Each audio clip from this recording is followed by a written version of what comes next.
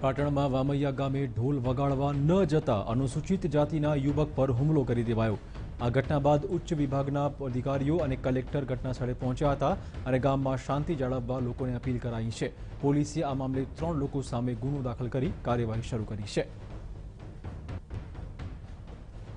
રાજકોટ શહેર ખાનગી શાળા સંચાલક મંડળે નવરાત્રી વેકેશનના પરિપત્રનો વિરોધ શરૂ કર્યો છે તેમનું કહેવું છે કે નવરાત્રીના વેકેશનના કારણે વિદ્યાર્થીઓના અભ્યાસ પર માઠી અસર પડે છે જેને લઈને તેઓ શિક્ષણ પ્રધાન અને મુખ્ય પ્રધાનને પણ રજૂઆત કરવાના છે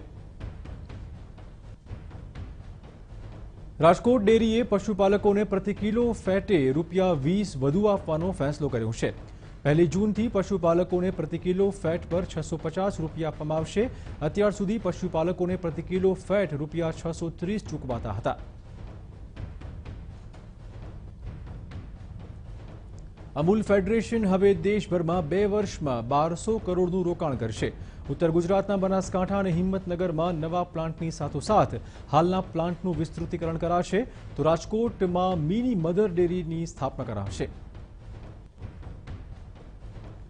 વડોદરામાં ગુજરાતભરના ખાતર ડેપોના કર્મચારીઓએ જીએસએફસી ખાતે દેખાવો કર્યા છેલ્લા વીસ વર્ષથી કામકાજ કરતા હોવા છતાં કાયમી ન કરાતા કાયમી કરવાની માંગ સાથે તેઓએ દેખાવો કર્યા હતા પોલીસે પ્રદર્શનકર્તાઓને અટકાવ્યા પણ હતા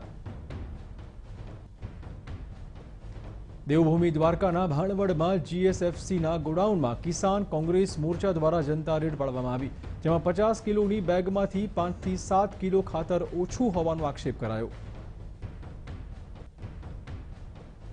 નર્મદા જિલ્લાના નવ લોકોએ આપેલી આત્મવિલોપનની ચીમકીના પગલે સચિવાલયના ગેટ નંબર એક પર પોલીસ બંદોબસ્ત ગોઠવવો પડ્યો હતો જમીન પર દબાણ કરાયું હોવાના આક્ષેપ સાથે નવ લોકોએ ચીમકી આપી હતી નર્મદાના સાતબારા પોલીસ મથકે આ મુદ્દે ગુનો દાખલ કરાયો છે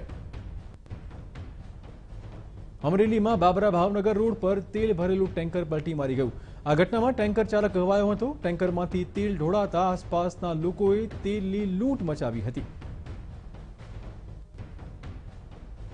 બનાસકાંઠાના થરાદમાં ભેખડ ધસી પડતા બે યુવકોના મોત થઈ ગયા માલસણ નજીક અંડરગ્રાઉન્ડ પાઇપલાઇનનું ફિટિંગ કરતા બે યુવકો દટાઈ ગયા હતા બંનેના મૃતદેહોને જહેમત બાદ બહાર કાઢી લેવાયા હતા માલસણ બ્રાન્ચ કેનાલમાંથી નાગલા અંડરગ્રાઉન્ડ પાઇપલાઇનનું કામ ચાલતું હતું ત્યારે આ ઘટના બની હતી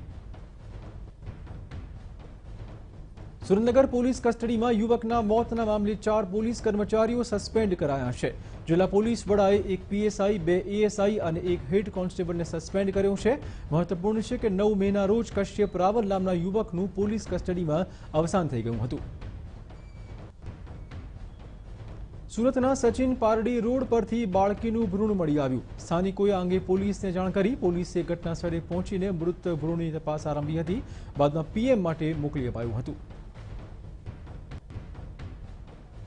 રાજ્યમાં ગેરકાયદેસર હથિયાર ઘુસાડતી ગેંગનો દાહોદ એસઓજીએ પર્દાફાશ કર્યો છે એક બાતમીના આધારે પોલીસે ચીખલીગર ગેંગના બે સાગરીતો પકડી પાડ્યા છે એમપીમાંથી હથિયારોની તસ્કરી કરતા શખ્સો પાસેથી પોલીસે છ પિસ્ટોલ અને વીસ કાર્ટીસ કબજે કર્યા છે અમદાવાદના સત્તાધાર વિસ્તારમાં યુવતી સાથે છેડતી કરનાર શખ્સને પોલીસે પકડી પાડ્યો છે યુવતી સવારે મોર્નિંગ વોક પર નીકળી હતી ત્યારે યુવકે છેડતી કરી હતી યુવતીના પરિવારજનોએ આ મામલે પોલીસમાં ફરિયાદ કરી ફરિયાદના આધારે પોલીસે આરોપીને પકડી પાડ્યો છે અમદાવાદ પોલીસે વિદેશી દારૂનો જથ્થો જપ્ત કર્યાની ઘટના સામે આવી ઓડ ગામ ખાસે આવેલા પેટ્રોલ પંપની પાછળ પોલીસને અડતાલીસ લાખનું વિદેશી દારૂ મળી આવ્યું છે પોલીસે દારૂ સહિત બે વાહનને કબજે કર્યા છે જોકે આ ઘટનામાં બે આરોપી ફરાર પણ થઈ ગયા છે ભાવનગરના પાલીતાણાના વડાલ ગામમાં વન વિભાગના કર્મચારી પર સિંહે હુમલો કર્યો પ્રાણી હોસ્પિટલ અને કેર સેન્ટરમાં સારવાર માટે લવાયેલા સિંહને ખોરાક આપવા ગયેલા વન વિભાગના કર્મચારી દિલાવર ખાન પર સિંહે હુમલો કરી દીધો